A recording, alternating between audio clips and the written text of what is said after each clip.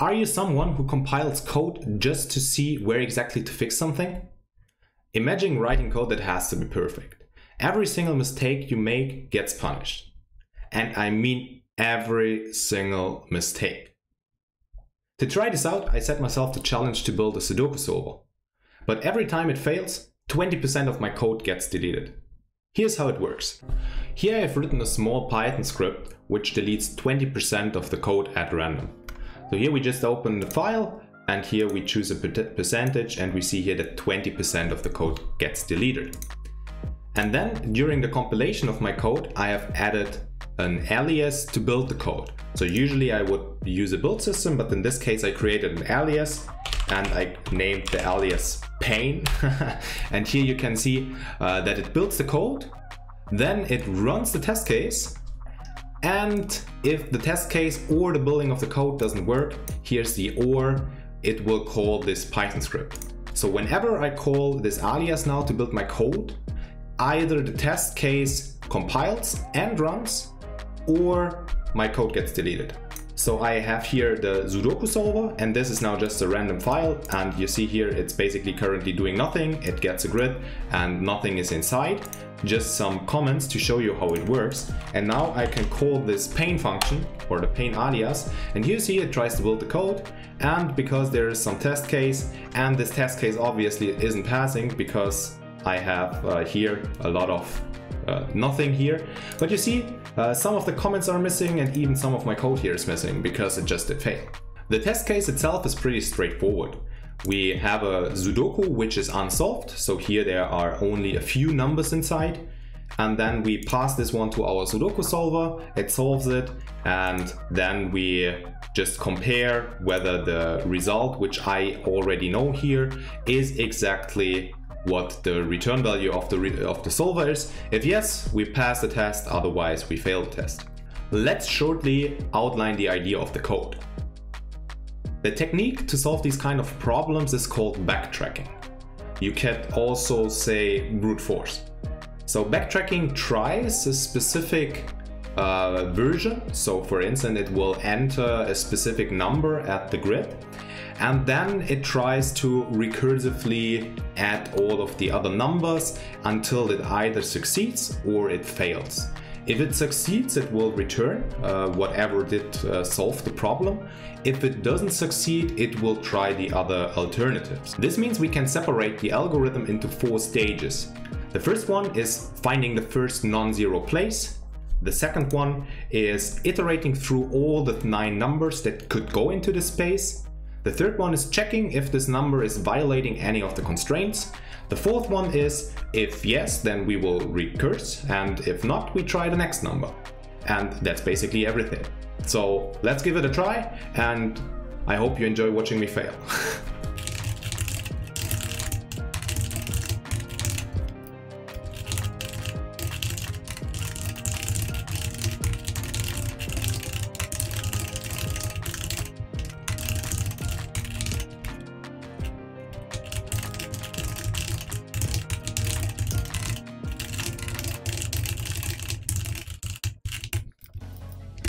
Finding first empty space is pretty straightforward.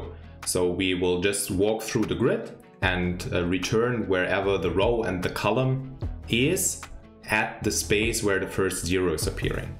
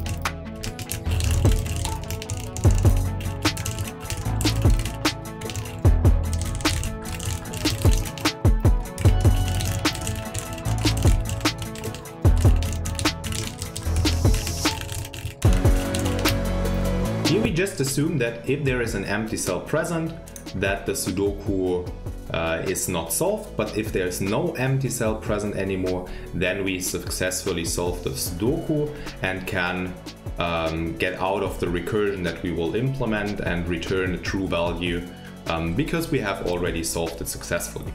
In the next step, we will iterate through all the possible nine numbers and try each one of them.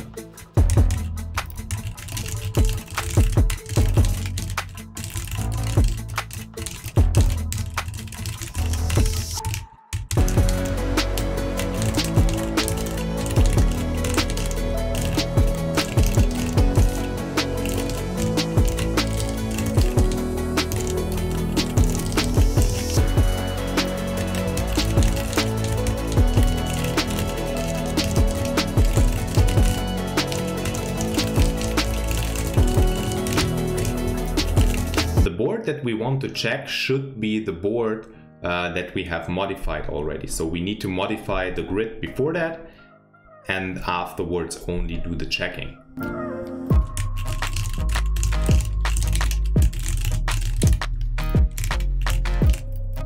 In Sudoku there are three rules. So each number is only allowed to be in every row, in every column, and in every uh, 3 cross 3 square. So we need to check for all of these three different things. Um, and if any of these checks fail, then also the board is not valid. So let's implement every three of these checks.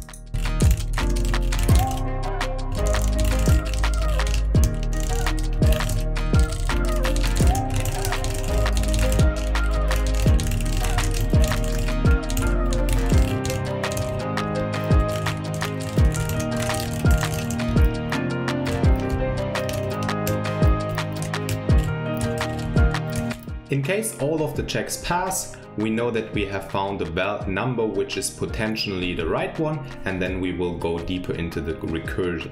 So we use an if here.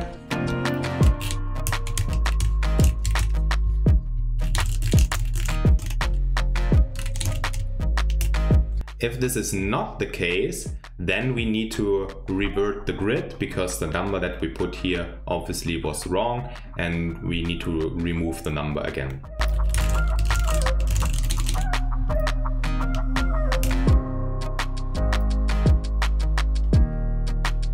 The important part for any recursion is that it somehow needs to end. So here we have the whether it ends. So it ends if we have no empty cell left. But this also means that we need to somehow pass it through the recursion chain. So we also need to check if the solve actually was uh, correct. So we add here also an if statement.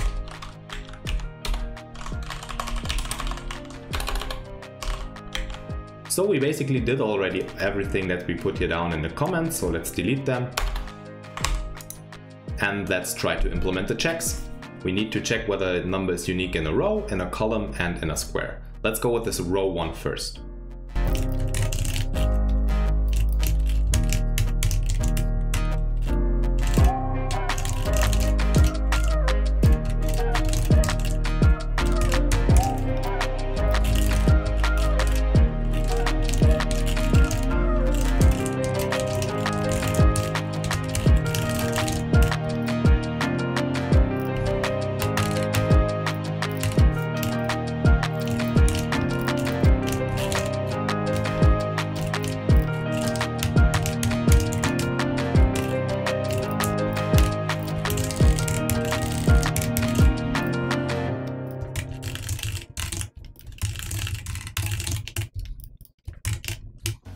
Last one is a little bit more tricky. Here we need to go through the square. So we need to use the modulus operator to find the square and then move through the rows and columns of that square.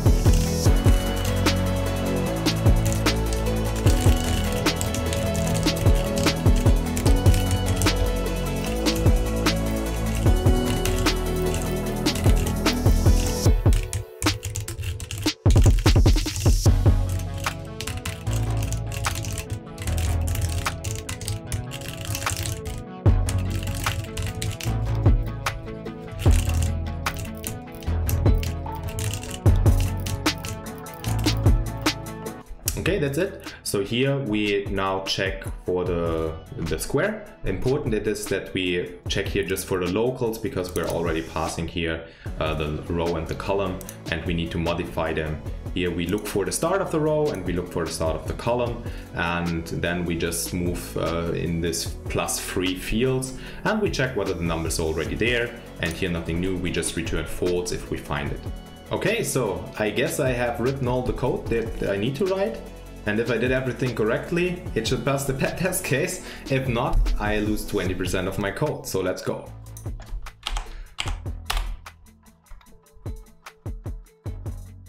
And apparently I did a mistake. So let's try to fix everything.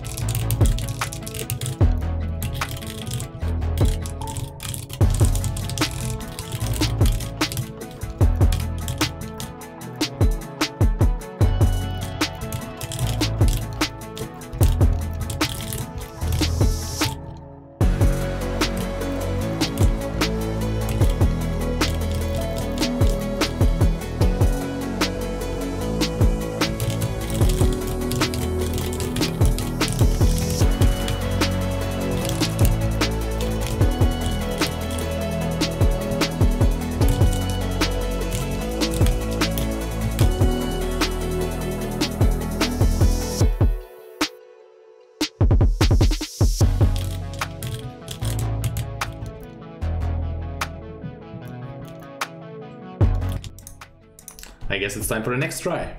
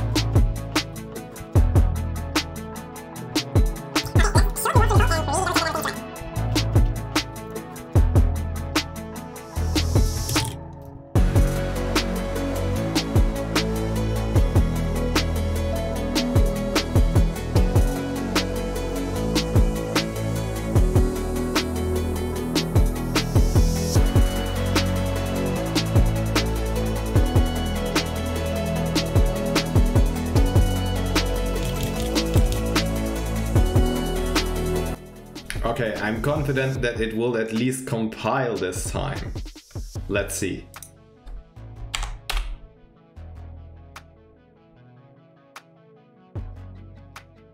Okay, at least it did compile, but apparently the test case failed. So let's have a look into that. But before, we need to rewrite everything.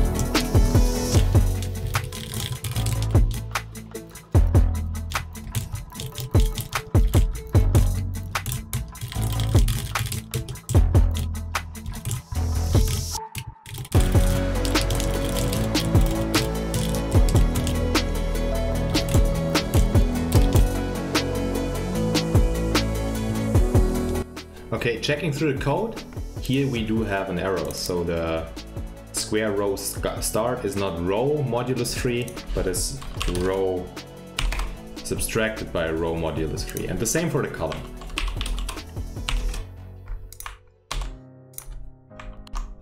But since I cannot find any issues anymore, let's try again.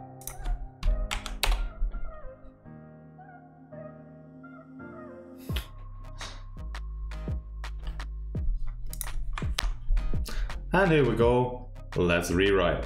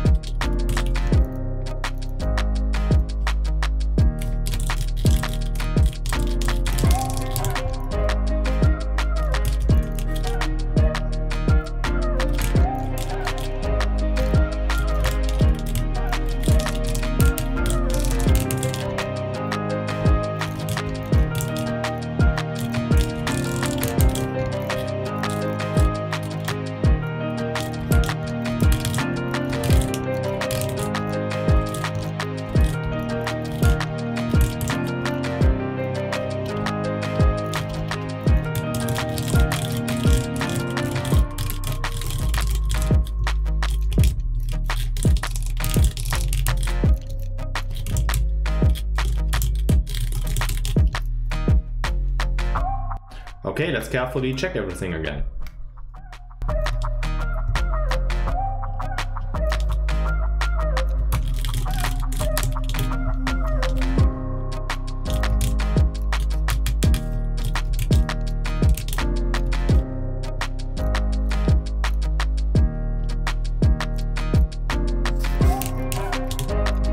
Okay, I hope this one was the last bug here in the row or in the find first empty, the problem was that I declared this variable inside the function itself.